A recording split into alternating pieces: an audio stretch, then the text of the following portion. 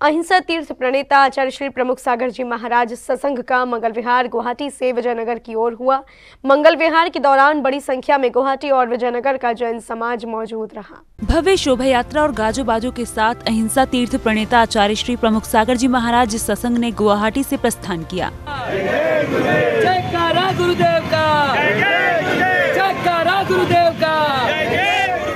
मंगल विहार की खबर सुनते ही धर्मस्थल पर गुवाहाटी का सकल जैन समाज मौजूद रहा। बड़ी संख्या में सकल जैन समाज आचार्य संघ के विहार में सम्मिलित रहा।